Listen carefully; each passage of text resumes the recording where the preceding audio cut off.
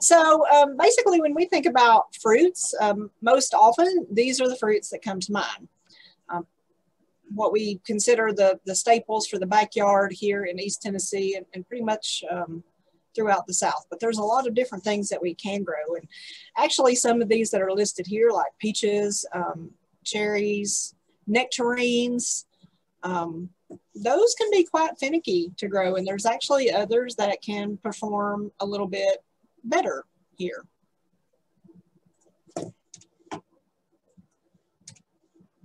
Okay, so some of the ones we're going to talk about tonight, well, actually, we're going to talk about all these that you see listed here. So let me just preface by saying I'm not going to go into detail on each one of these, but the first five or six I'm going to be a little bit more detailed in because that seems to be where a lot of the interest lies. And we've really seen um, an interest and, and pick up on these in, in production in the last decade. So um, some of those last 20 or so, probably just a slide or two, so don't get nervous when I start going through the pawpaws and think, oh my lord, we're gonna be here till midnight tonight. Um, just as an FYI, I put this slide in here to remind me, um, there are so many resources in the Google Drive tonight.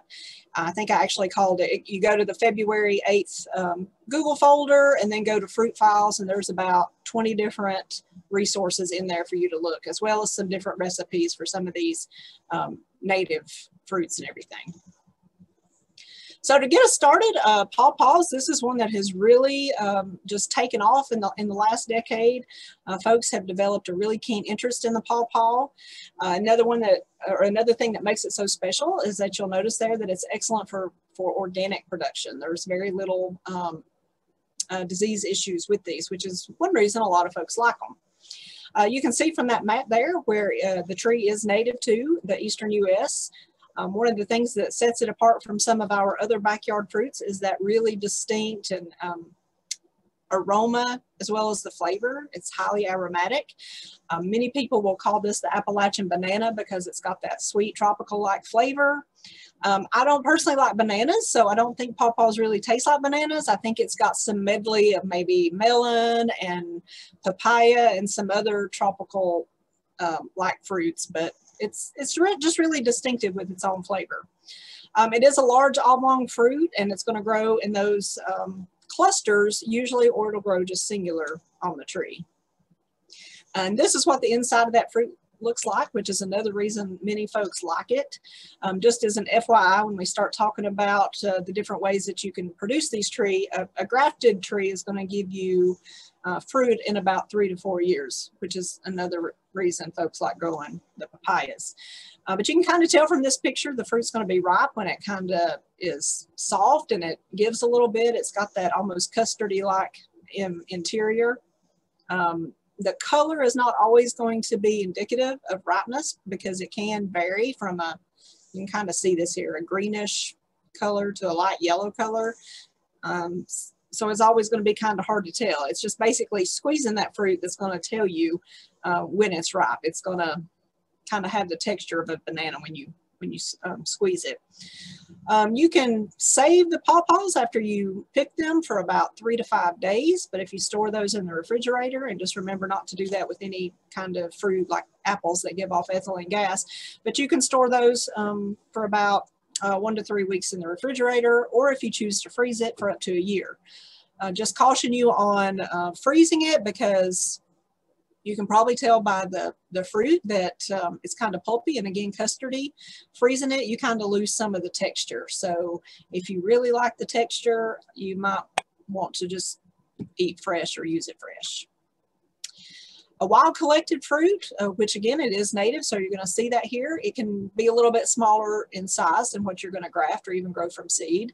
Uh, the, the wild collected are gonna have many more seeds than the picture I just showed you there, and they're also gonna leave that little bitter aftertaste in your mouth. So it's gonna be a matter of preference. Uh, notice here that fruit from grafted trees of name varieties is going to be a higher quality and you're not going to have that aftertaste, which is what a lot of folks that are starting to plant pawpaws kind of prefer in that regard. And I just put a picture in here of that pawpaw pudding because again, it's going to have the texture and the consistency like a pumpkin pie. So that's one um, dessert that a lot of people will utilize it for. You can see the foliage there or what it looks like just uh, getting started. Uh, many different cultivars are going to be available. There is a link to Kentucky State University's website that's going to have much more information uh, included there than what I have here tonight. So make sure that you click that link um, in the PowerPoint and go visit that site because there's a lot of um, information there. Also notice there that uh, most uh, pawpaw cultivars are believed to be self-incompatible, so you're going to have to have two genetically different trees, so cross-pollination um, can occur. Now, again, saying that they're growing in the wild, uh, many folks will want to wild harvest those, dig those up and bring them home.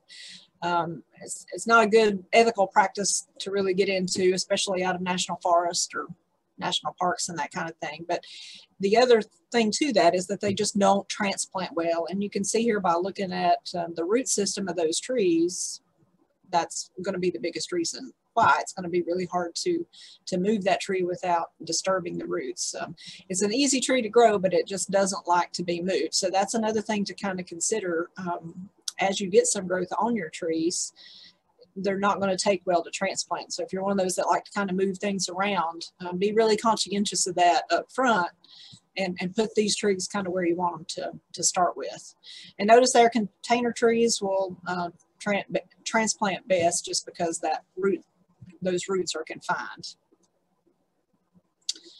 Um, pawpaws, you want to plant those in a deep, fertile, and well-drained, slightly acidic soil. Uh, you don't want any um, heavy or waterlogged soil. So if you have a really heavy clay soil, you're going to want to amend that with some organic matter first and make sure you've got good drainage. So many of you are growing blueberries, so that's going to be very similar uh, to growing pawpaws, although you don't need to be quite that acidic as you would be for blueberries. Um, even though they don't like to be waterlogged, you got to keep them regularly watered, especially the first year that you plant them, and then making sure that um, supplemental fertilization is going to be added in late winter, early spring each year. And then of course, um, pawpaws are going to be one of those understory trees that we see in our native forest. So they're going to be shaded um, more than you know, like our, our maples and some of the nut trees and things like that. But at home, if we're planting these in the backyard, make sure you get them in full sun because as they mature, that's going to be best for the fruit production. So even though in its natural habitat, it's going to do well in the shade and it will do well in the shade in your backyard. But if you're wanting to reap the benefits of the fruit, then make sure that you get it in full sun. And you can kind of see there that for the first couple of years, put the, the shade cloth or a tree guard, uh, tree shelter on those um, just to kind of get them started. Then hand pollination um, is also going to be helpful. Um, you know, you don't, they're, let's see, what is it? The flies and beetles are said to pollinate the pawpaws, but they're not always going to be very dependable. So that's one thing to be uh, conscious of as well. Now, if you um, have ever seen the bloom, you probably recognize it's, uh, a lot of people will say it's an odorous bloom. It's got a stink to the to the flower, um, but it's kind of a cool looking little flower too. So it makes a really pretty addition to the, the edible landscape. You can actually direct seed your pawpaw seeds. Uh, you, you just be aware that it is going to be a slow process, as with anything growing from seed. Uh, but research has shown us that that's going to contribute to a healthier tree over time. Uh, the big thing is to just make sure that you don't let those seeds freeze or dry out, as with any seed. And then um, plant your seeds during a cold period. They're going to need that stratification. So planting them in the fall um, is going to give them that opportunity to chill over the winter and then just protect the area you plant so they don't get trampled on. We're probably all bad to do that. Sow things in the in the wintertime and be like, oh yeah, I forgot I did that. Or you notice they're purchasing bare root plants or seedlings and you would plant those in the spring. And kind of see what um, the foliage or what the tree is going to look like there. Um, if you are purchasing a grafted tree, the price range can be upwards of about $15. Um, partial crops can be obtained about three to four years after uh, planting a grafted tree. That's another reason folks do like the, to purchase the grafted. Uh, but they will bear a full crop after about five years. And pawpaw trees are notorious for suckering out and, and becoming bushy. So uh, many people will do that just to kind of form a hedgerow or a fence line, and that's fine. But you can also um, prune those to be more upright. So um, pruning is not going to hurt them at all. It's actually going to encourage more fruit production. And just so you know, the fruit is going to form on new wood every year. So if you are pruning, you know, make sure that you're not pruning away the, the new wood. And usually if people are kind of letting them form a fence row, you'll still prune some of those wayward or crossing branches um, just to help again encourage vigor with the fruit. I did include a link in here for you to be able to uh, watch a video on how to prune um, different, different modalities. Okay, so moving on to persimmons. This is another one that is uh, growing in popularity. It's really popular because uh, one persimmon is going to contain about 55% of your recommended intake of vitamin A every day. And this is going to be another one of our native species. But here's a word of caution. Uh, we do have a native and oriental species. So if you want to, to grow a native landscape, then make sure you purchase the Virginiana species because the Oriental, um, many and that's spelled wrong. I just saw that. But uh, the Oriental, a lot of folks will actually mix these because they both have their pros and cons. Uh, one of the things you'll notice there is that our native is going to be hardy down to negative 25 degrees Fahrenheit, which makes them very well adept in this area. So you can grow them pretty much anywhere. Um, these are the natives that we're going to see actually growing in those roadsides or in our native forest. Uh, the Oriental has not even been around about 100 years. Notice there that it will die back about 10 degrees Fahrenheit. So it's also going to be a little bit finickier about soils. But here's the big clincher you know, we always have to give and take something, right? So um, the Oriental is said to be superior in quality to the native fruit. And you can see that depicted here. Um, a little bit of a shinier, more orange sheen. Oftentimes these will be a little bit wrinkled, almost prune-like when they're on the vine. Um, but usually they're going to be about the size of a plum. Uh, the flesh itself is going to be really pungent and it's going to have a um, astringent aftertaste. So it's going to make you pucker. It can be really, really sour. Um, the Oriental persimmon can actually get bigger than the native species. It can actually get as big as a peach and um, it's not going to have that acidic bite like our native species do. Um, now there, there are rumors with the persimmon that um, if for it to be edible, then you've got to have a frost on the fruit. That's really not true. Uh, frost will actually ruin that immature fruit um, on the on the tree.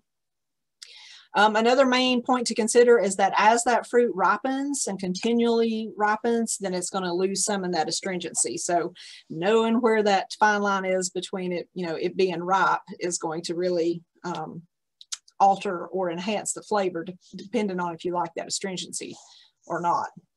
Um, persimmons will continue to ripen after you pick those. So that's another reason that folks do like those. Um, and many people will pick and just leave them even up to two weeks, so they will lose that, that pucker factor. I put a couple of different cultivars in here that we've grown traditionally in the South. And again, um, just be cognizant of native if that's what you're going for. If it doesn't really matter and you just want to get persimmon started, then mixing the two is a fine way to go as well. And here's just another picture to kind of show you what those natives persimmons are going to look like. And you can see they're a little bit smaller. See how they're kind of wrinkled up there uh, versus the oriental type to me, it almost looks like a yellow tomato instead of, I wouldn't compare it to a peach necessarily, but um, very much a distinct difference in the two. Uh, the other big thing here is that our native, um, they're going to produce either male or female flowers, whereas the oriental are going to be a perfect flower. They're going to form those on the same tree. So our native is going to be uh, rarely self-pollinating. Um, and you notice from the oriental, it's parthenocarpic. So think about seedless cucumbers. It's going to be the same kind of um, issue there. So no seed. Uh, native persimmons, they won't cross pollinate with your oriental. So that's another reason that folks can mix those in the backyard and it not be a big deal. And you can kind of see the difference there in the flower, not much difference. Uh, the native is going to get about 30 to 40 foot high, whereas the oriental is just going to get 20 to 30 foot high. And some varieties will just be 10 foot. So again, kind of depending on what you're going for in the landscape. Kind of see what the foliage looks there, looks like. Uh, fertility is going to be important with these, just um, using a, a, balanced fertilizer, a triple 10 in early spring and then in midsummer. And notice there the rate is two ounces per year of the tree age. Um, and this is something, a phenomenon we're going to talk about in a couple of weeks when we do fruit crops, but trees will sometimes crop heavily one year and then that results in a light crop the next year. Um, that's what we call biennial bearing and it's very common amongst many of our trees, including apple trees. So just kind of keep that in, in mind. Um, if you are fertilizing your lawn and these trees are close, then that's going to probably be adequate enough as fertility, but you want to be careful because again, there's a delicate balance there because excess nitrogen fertilization can actually cause your fruit to drop.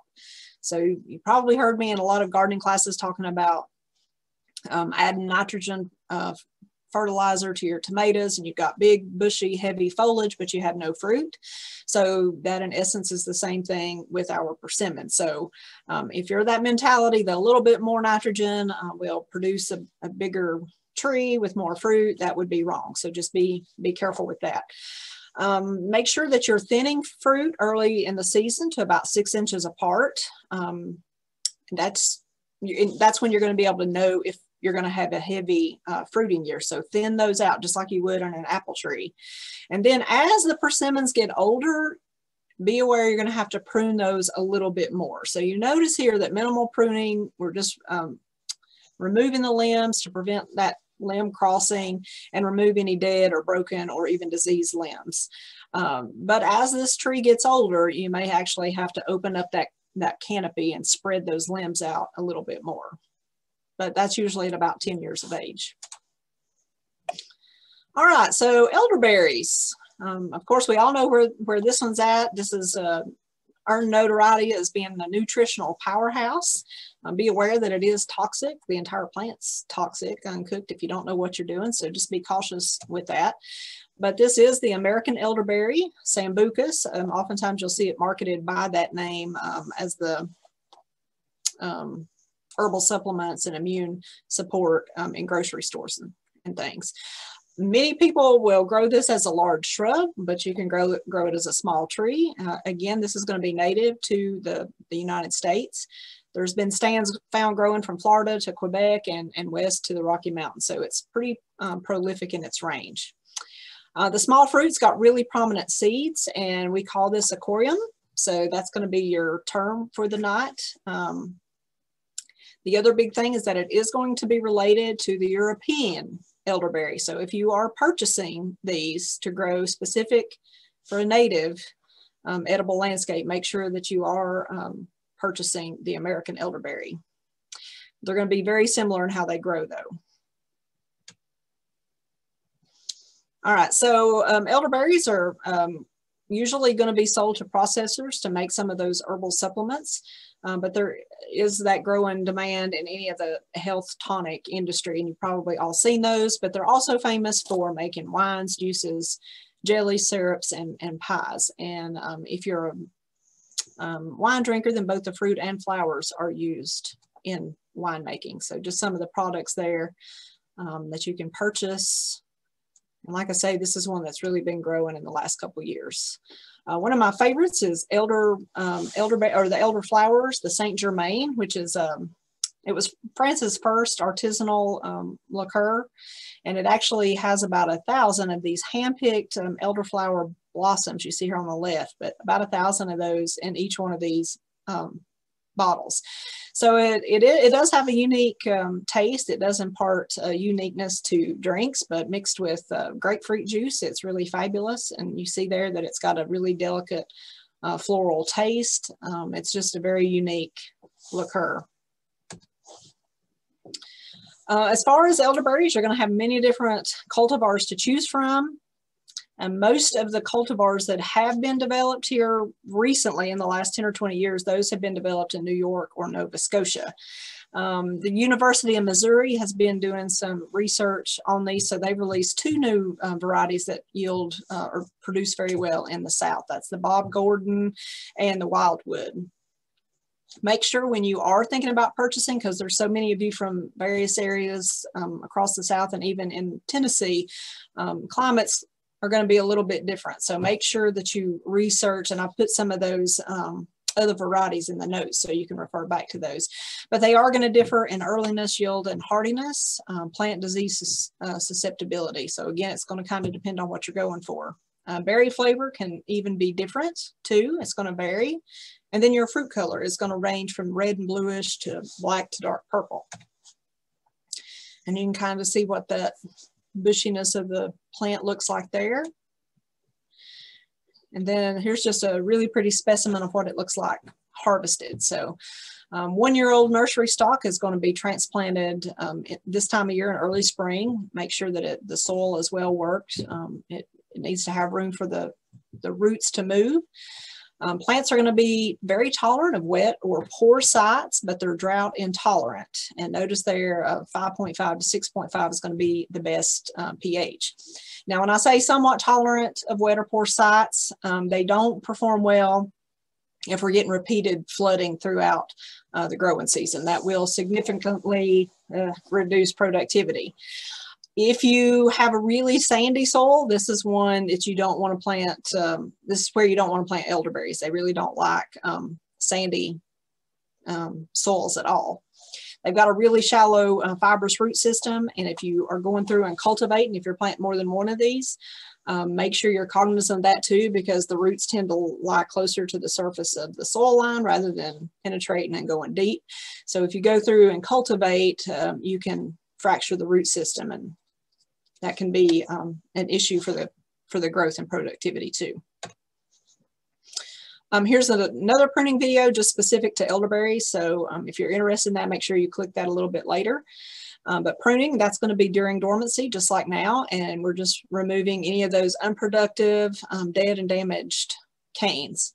Um, that is also going to be beneficial just for managing insect and disease, just taking out a couple of these so we make sure that we get light uh, penetration through there. It helps draw off some of those uh, foliage diseases. You can remove the canes all the way down to ground level, um, just leaving, you know, one to two and three year old canes. So it kind of, again, depends on what kind of issue. A lot of people uh, will do that um, after so many years of bearing, they'll pretty well cut them back and let them uh, regrow and retrain them at that point. Um, you can do the complete cane renewal over that selective um, pruning, but you're going to get larger fruit if you're pruning that way and more clusters. So just remember that. And then um, it makes harvesting a little bit easier um, if you're doing it that way as well, instead of having lots of small clusters with small fruit. Uh, there's a lot of words on here, but I want to make sure I covered all this. So um, when we do go to planting elderberries, uh, full production occurs after about three or four years. You're going to be hand harvesting these in August and September, and you're just cutting that cluster from the bush once all of those berries have fully ripened.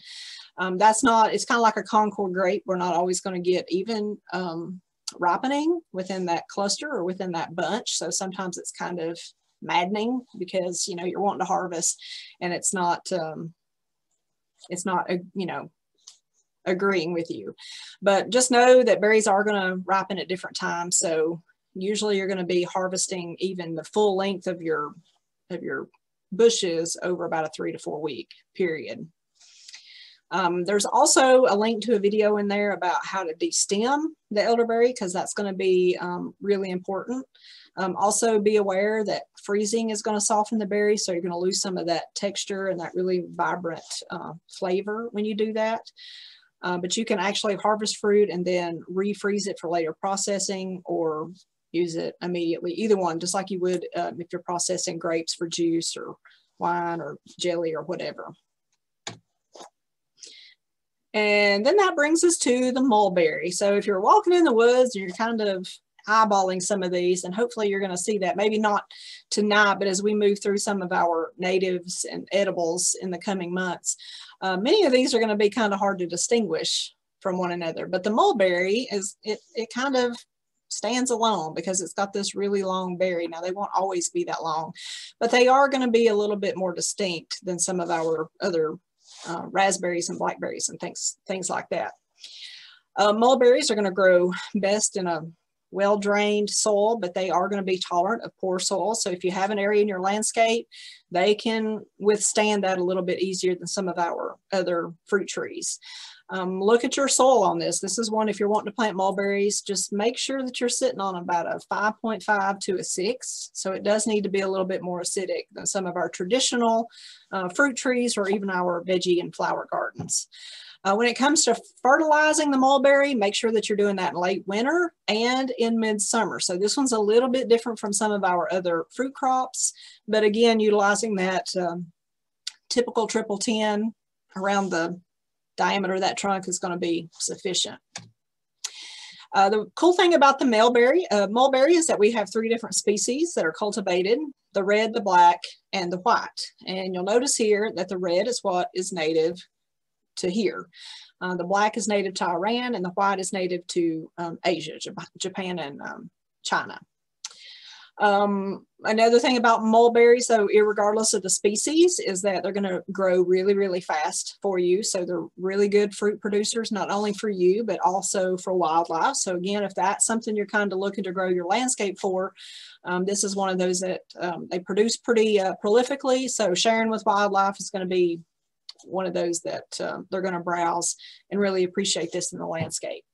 It does have a flavor kind of like a blackberry, except it's a little bit more mild. Um, I almost think it's more watery, or maybe a better um, analogy would be wild blackberries are very tart, whereas the tame blackberries that we grow kind of, I mean, they're sweet, but they're lacking a little bit in that burst of tartness. Uh, so a, a mulberry is going to be more closely related in flavor, I guess, to that tame blackberry. Uh, the fruit drops when they're ripe and you can actually harvest a mulberry just by gently shaking um, the tree. So you're not going to have to pull like you do on blackberries and, and raspberries. Uh, the fruit's going to be born on the current season's growth and they'll usually ripen in about May. Um, usually few problems as far as hardiness uh, across Tennessee. Um, but in this area in Northeast Tennessee, if we do happen to get one of those late spring freezes, it can be detrimental. So kind of keep your eye on that um, if you're in the upper eight counties in East Tennessee. Again, about pruning, there's some um, references in there for you to be able to kind of go by because as we all know, pruning is going to be one of those practices we need to be doing to maintain the vigor of all of our fruit crops. Um, I did put a few different cultivars in there that perform well in this area. Uh, be mindful, now this is not the native, this is the species actually from uh, Japan and China, but if you're not growing just for the native species, and this is one you want to include, just be aware that it's got some um, disease issues, a little bit more pressure than the red or the black mulberry. So uh, you can probably tell by looking at this that we call this popcorn disease because it actually looks like um, popcorn kernel. But what this is is actually um, a fungal pathogen. So it's going to be one of those that spreads by, by wind. If you see this, make sure that you cut this stem back about five or six inches and just burn that material because again um, anytime we see those fungal pathogens we want to get rid of that we don't want to go throw it on the brush pile or you know put it in the compost pile or anything like that because those spores can continually reproduce but this is something we just see um, on the white mulberry so just be cautious of that. Uh, the other cool thing about the white mulberry, and this kind of went bust, kind of like my poll feature earlier tonight, but uh, the the first reason that people got interested in the white was because it was the food for the silkworm. So that's why it was imported here because we were going to, you know, get into the silk industry, but that pretty well just uh, went vamoose before it even got started just because of those high startup costs and, and production costs and all that. Okay, so that brings us to quince. Um, this is going to be in the same family as apple and pear. You can probably see the how it kind of even looks like a cross, but it, it is the only member of the genus Cydonia. It's in the rose family. Um, this is one that's going to it's going to form a small tree. It's going to have really cool looking flowers um, and leaves. The, the, flowers are actually going to form at the end of, of last year's growth and they're usually self-fertile. Um, they can weigh up to a pound a piece and then it's going to again produce that oblong fruit that you just want to you know, bite into just like you would a pear or an apple, but it's really hard fruit. So it's going to be one of those you can't really just pick off the tree and eat. It's going to be one you're going to have to cook down and um, make into like applesauce or jelly or some kind of dessert. You can kind of see here that they, um, they can survive a lot of, I guess, neglect, if you will. Um, they can also withstand disease and insect pressure. Um, they really don't care much about uh, soil. You want to fertilize, that's going to help you um, discourage vigorous growth, fertilize lightly, I'm sorry, to discourage any of that really vigorous growth.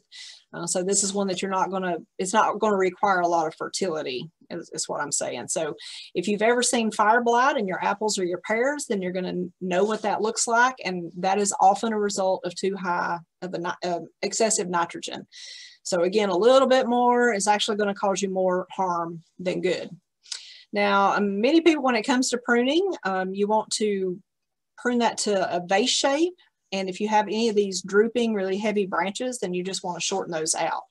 And as this tree gets older, it's going to be the reverse of um, the persimmon that we were talking about earlier. But this is one that you're not going to have to prune quite as much as it gets older.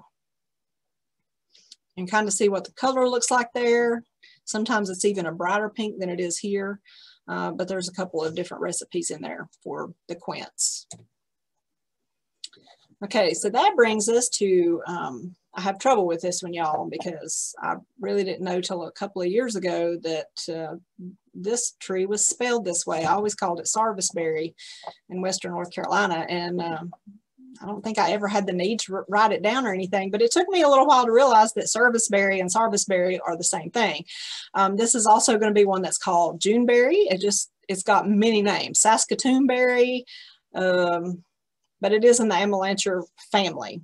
And is this is one that's also going to be native and you've got about 25 different uh, small fruit bearing trees that are going to belong to this genus. Um, sometimes It'll also be called uh, sugar pear. But really bright colored fruit, uh, nice blossoms. This is going to be one of the first ones that you see uh, blooming in the springtime. If you travel the I-40 Gorge, um, Pigeon River Gorge from Tennessee into North Carolina, uh, this is the one that you'll see prolifically blooming um, in early spring. This is one that's going to be very widely adapted. It's very cold hardy. It is, again, native. Um, all over the eastern seaboard.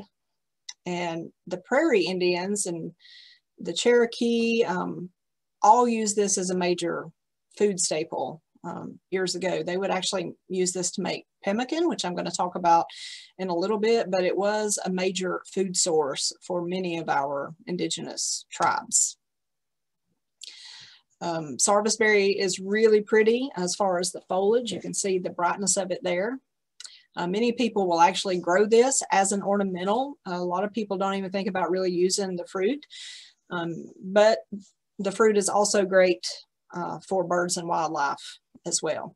Uh, this is one that you can grow as an understory or you can put it in a corner, you know, tuck it away in a corner of your landscape because it's going to get 15 uh, to 25 foot tall. But if you're giving it full sun, it can get up, up to about 40 foot tall, just depending on how you want, want it to grow. You can kind of train it. Um, the plant is going to sucker, um, so you got to keep those pruned out. Otherwise, you're going to have a bush rather than an upright tree. So be um, very cautious of that. And again, you can just kind of see what those berries look like. Rich in polyphenols. Um, some of those terms we're going to talk about in a, in a couple of months, uh, some of those phytochemical elements. But this is one that's going to be really, really rich in polyphenols. Uh, you can see there that the fruit's going to look like a pome, so it almost looks like a miniature uh, plum. And some can range like from the size of a pea up to about the size of a muscadine grape. And see what that foliage looks like. I've listed some cultivars that do very well.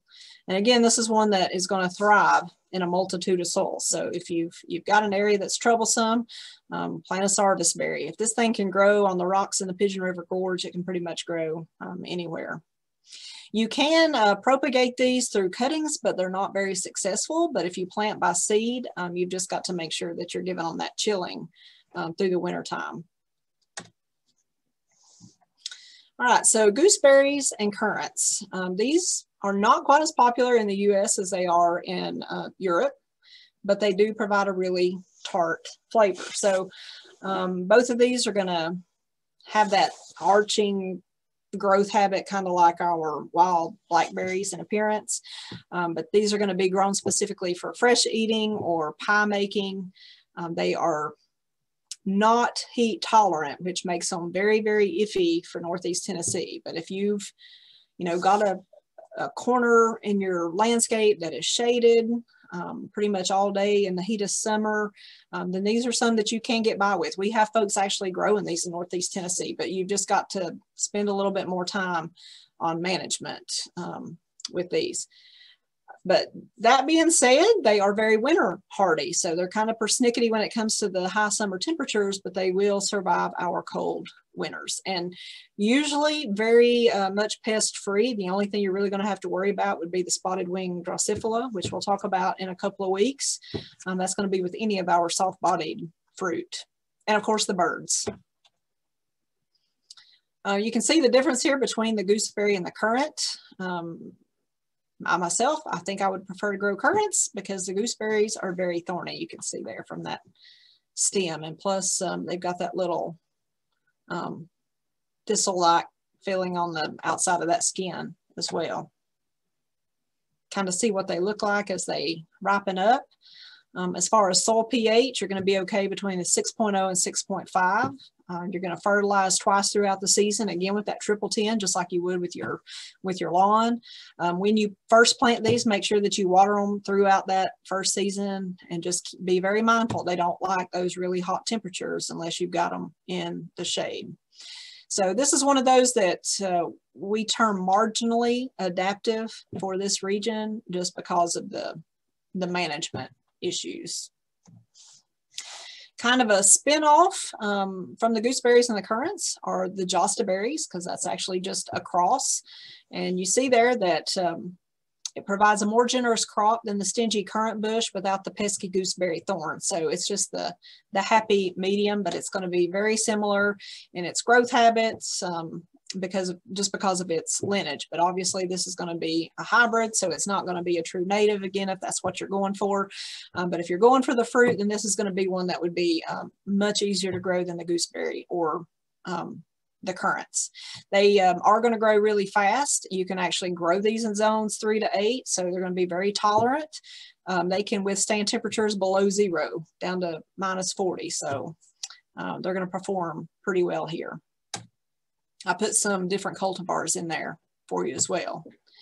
And then we have the jujubes, not the candy, but the fruit, which is a drupe that's rich in fiber. And just to remind you, a drupe is going to be a stone fruit that grows on trees. So that means it's going to have a stone in the center. So it's going to be very similar to a peach or a plum, um, cherry, or a date. You're going to have that really hard center. So oftentimes you'll hear this referred to as the Chinese date. So this is one that has become very adaptable um, in the southern US. It's drought hardy. It produces a really um, graceful open ornamental tree. It can get up to 40 foot tall though. So if space is an issue, this one could be kind of precarious for you to, um, to grow. The cool thing about um, jujubes, let's see here. Yeah, um, you want to wait till the skin is completely wrinkled like this. Many folks, I mean, myself included, I would want to harvest like this because I'm like, oh Lord, it's turning brown. It's, it's rotten. Um, you know, throw that out. That's actually, remember that it's called a Chinese date. So you, you want to see that shrivel on the, on the tree. Uh, trees are going to be self-fertile, but you can increase uh, fertility by cross-pollinating with different varieties. You can actually increase your yield and get a little bit higher fertility. But that's kind of what that will look like from this point right here, just within about a, a week or two. Uh, the kiwi, I started not to put this one in here, but we have so many people that ask about the kiwi um, because there is the hardy kiwi now. Uh, but this is one I probably, even with the hardy, I wouldn't necessarily recommend. It's to me, it's a high maintenance fruit too, but my opinion doesn't really count for much. So if you're into the kiwi, this might be one to try, but just know that you've got um, probably some intense management ahead of you. So um, this is also referred to as the Chinese gooseberry. Um, it has been planted in the South um, in research plots as a you know experimental, and you can actually purchase these now through garden catalogs. And I meant to do that today. I was going to look that up, kind of see what it said about it, but I forgot. Um, we refer to these as kind of the grocery store type and the commercial type uh, that kind of distinguish between the two. Um, just because they're kind of one and the same, they're just kind of hard to get started. And you can see here that they are going to require that trellising system. So they are going to vine. Um, the leaves can actually get as big as a, as a, like a dinner plate. And then of course that fruit's going to be about the size of a hen egg and covered with fuzz, which this one here is not covered with fuzz, but almost kind of looks like um, a fig as far as the fruit does. Um, most of these new hardy cultivars that have been developed will withstand temperatures down to 10 degrees Fahrenheit. But again, they're going to have to be protected from those late spring freezes or the early fall frost or freeze. I didn't spend a lot of time on the hardy kiwi, did I? Okay, so uh, the loquat, this is kind of a unique one. It's an evergreen shrub. It's also called the Japanese plum. Um, it's a really pretty evergreen, so that's one thing that kind of makes it distinctive versus some of the other fruit trees we've talked about. It is very compact. You can't really tell it from that picture here in its, its stature, but it's also got really pretty white blooms. And then the fruit, of course, forms in the fall and the winter and then ripens in the spring. So again, just kind of being careful, being mindful of the fact that uh, freezes can be damaging, but we've seen these produced, um, I mean, in North Georgia in the mountains where our elevation is going to be very, very similar to theirs there. You do want to kind of plant these in a, in a protected location. So if you can plant up against a barn or a building, um, anywhere that you're getting sun for half the day, even during this time of year, that's going to be beneficial uh, to be to it being able to withstand and, and adapt to its environment. This is one you're going to have to fertilize about two or three times a year just to kind of keep it vigorous. So uh, kind of keep that in mind, whereas the others will usually do that late winter, early spring, and then we don't worry about it again. Uh, loquats are going to be one that you're going to have to kind of make repeated applications of the fertilizer. As far as pruning, you would just want to go in there and, and cut out any uh, cross vines, just like any of our other fruit crops.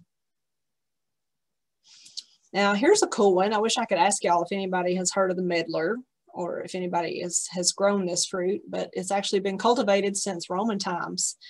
Um, it's a small shrub-like tree in the rose family. You can kind of tell that by looking there at the fruit.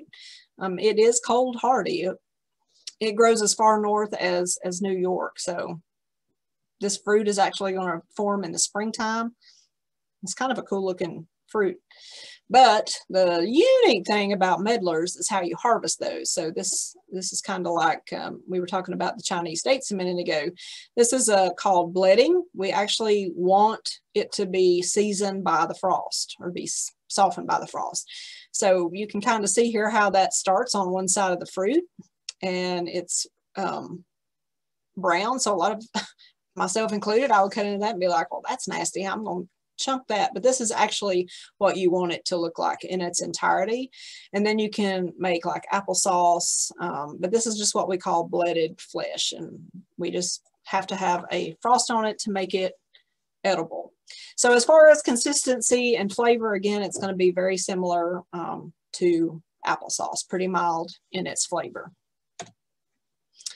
Kind of going along with that are the mayhaws. Um, these are very well known in, in the South. It's a Southern favorite as far as jellies.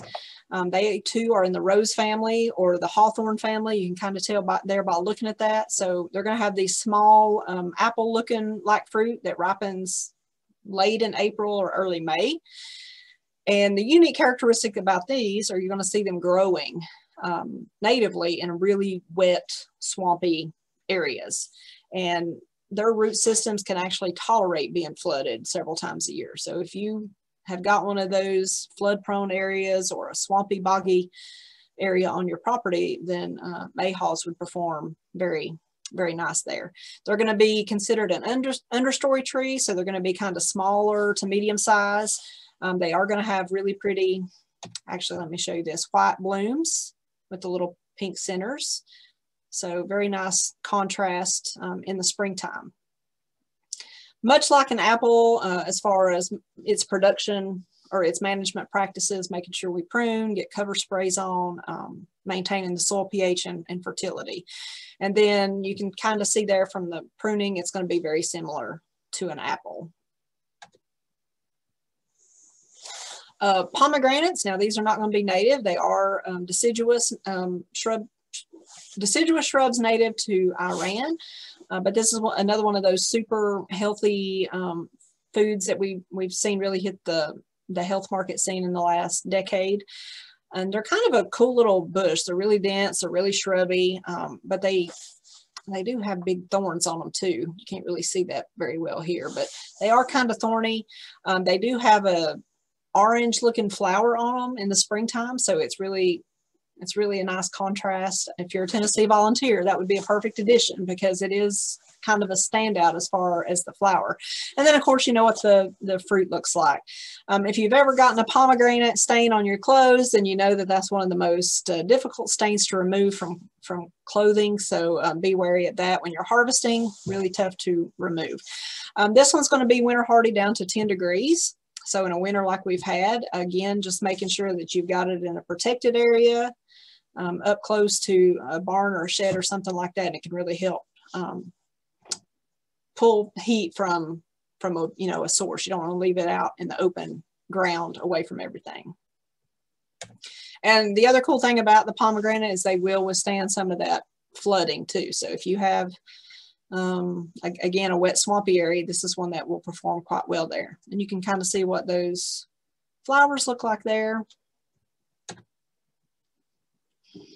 And then the choke cherries. Um, this is a native food staple too for Native Americans and got a very um, unique flavor, but this is the one I was referring to a minute ago that the Indians would make pemmican. And I've actually put a recipe in there. I'm getting ahead of myself, but, um, and we'll talk more about that in just a minute. But this was first cultivated as a crop in the US. It was in the mid 1700s. So it's one that's been kind of around before, but it does have some of those harmful glycosides. Um, and again, that's a term we'll talk about in a, in a few months, but we've got to be really careful with that because the cyan, cyanide that is naturally occurring in some, well, not just this one, but in some of our fruit crops, just like the, the elderberry.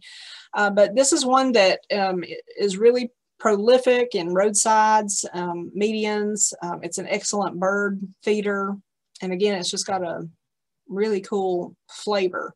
But the pemmican is just um, dried meat and dried berries. And so kind of like a mincemeat, but it was known as the first survivalist food, if you will. So it was just, again, an important part of the indigenous cuisine and it's still used today. So if nothing else, you might want to try even with normal blackberries or any any kind of berry that you're growing, you can use that to make the, the pemmican. So if you're a hiker, um, you know, survivalists do the backpacking for days, this is a really good um, high protein snack. So um, as far as the natives, again, they utilized every part of this plant. It just wasn't the fruit itself. So they even eat um, the pulp and and the stone they would actually pulverize that and use that bake that in the sun and then they would use that uh, for like a flour substitute later in the year uh, not to be confused with choke cherries we also have choke berry And you can kind of tell by looking at the fruit, very similar. But the chokeberry uh, or aronia, you may actually hear it called aronia because like in Whole Food stores, it's marketed as aronia berries. Um, but it is native to um, the eastern U.S. It's a very sour berry. It's not astringent, but it is very, very sour. Um, this is one that you can just pick and eat right off the bush, but more often than not, it's also going to be one that's going to be processed, much like the elderberries. Um, this is one that you can utilize in a lot of different um, tonics, syrups, um, even wines, um, salsas. It's going to give it, it's going to impart a really unique sour characteristic. Um, but it's a little bit different in, in its acidity versus some of our other fruit crops. If you know what photinia is, the red tip photinia, the landscape shrub, blah, blah, blah, I can't talk tonight, um, this is related to the photinia. It's going to be in that same family. Uh, this is one that's kind of coming on. So um, if if you're into the, the nutritional, the super berries, make sure you pull that up. Um, I put a link in the Google Drive for you, but um, it's it's actually becoming known as America's superberry. And then boysenberries. This is a um, hybrid. So it's coming from four different plants. It's coming from the blackberry, raspberry, dewberry, and loganberry. So it's going to have characteristics uh, from all of those. But boysenberry, I think this is one of the syrups they actually serve it at IHOP maybe. Um, but you can purchase this in grocery stores. But this is, is uh, it is a bramble, so it's going to have that woody stem and it is going to have thorns. Uh, but it's going to have a little bit of a milder taste versus the blackberry. Um, it's going to be sweet like a, a raspberry a raspberry. It is going to require trellising, so if that's not your thing, um, boysenberries can be kind of finicky with that.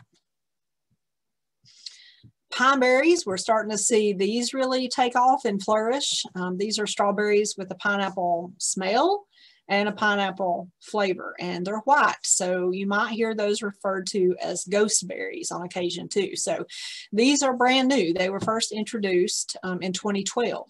So they are an ever-bearing strawberry. Um, so that means they're going to keep producing throughout the year. And they do have those red seeds, which kind of make them cool. And they taste like pineapple.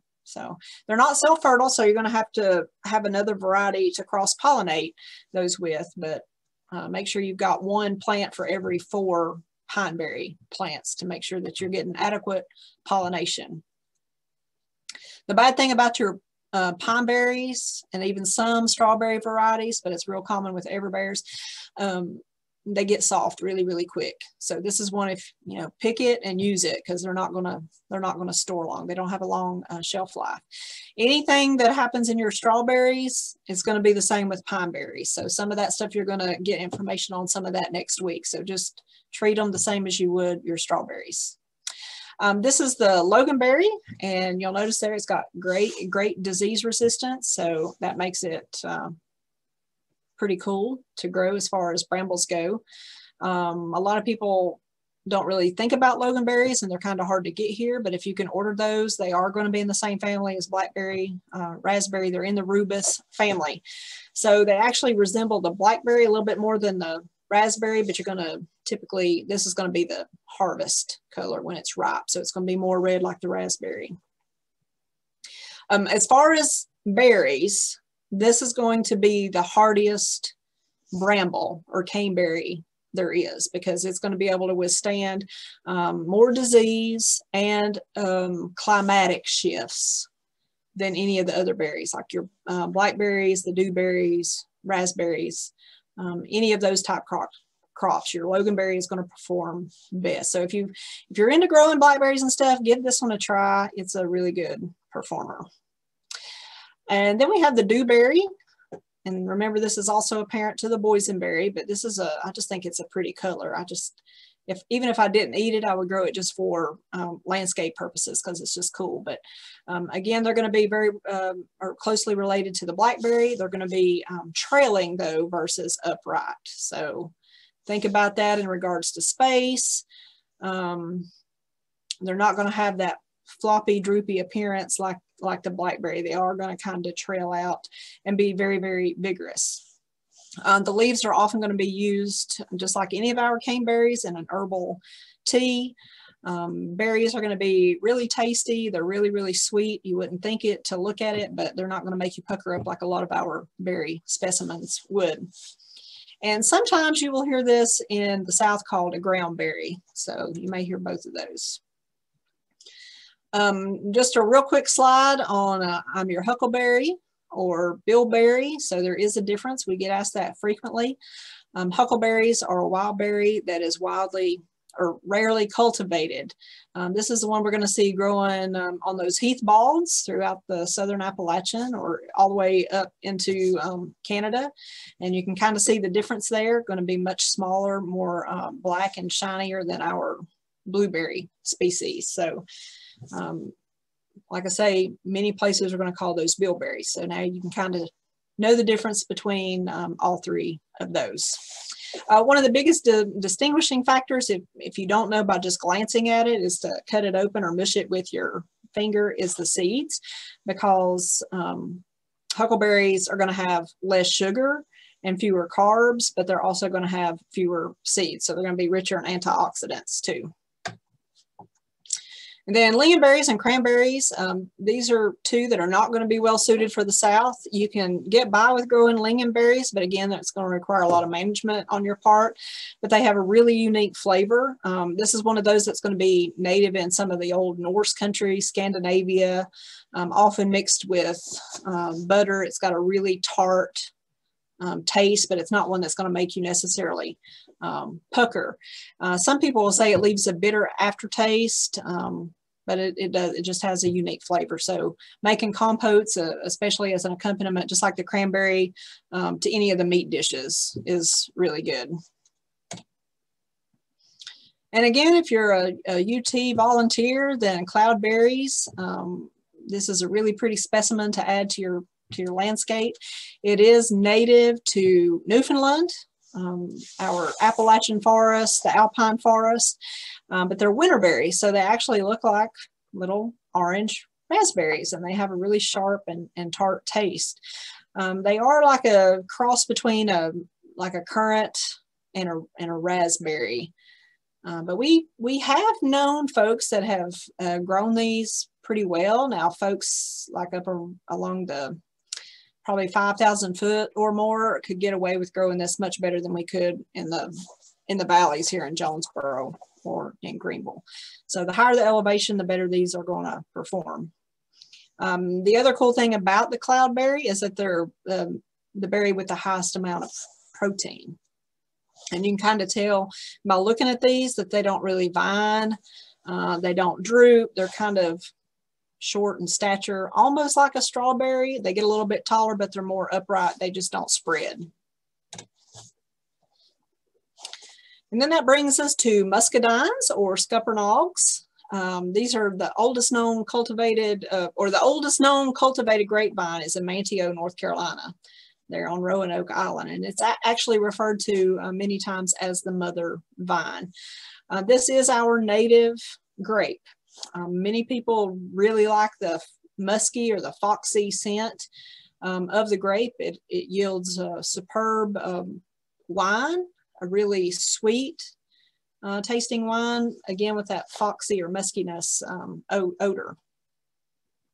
It is going to perform quite well in a wide variety of soils, uh, except those that don't drain well. So if you have one of those areas, don't plant your muscadines there. Sandy soils will actually support uh, muscadines. They are going to produce their high shields in the full sun. So like with any grapes, uh, make sure you do that. But if you notice in the in the wild, again, they're going to be growing in the understory under those um, large canopy trees. So um, they can perform well there. It's just that as we move into winter, that could um, become an issue if it's like evergreen shade. A uh, few pest problems. These are one that you actually can grow organically. There are so many um, cultivars, varieties available. It's just unreal. So I put um, a couple of links. Arkansas, I think, has one. Georgia has one. So just make sure you research to know what kind of um, grape, you know, is going to suit your landscape. You are going to have to have a pollinator. Uh, so make sure you know what those pollinating requirements are before you, you plant. Okay, so that's going to finish us up with Cool Fruits to Grow.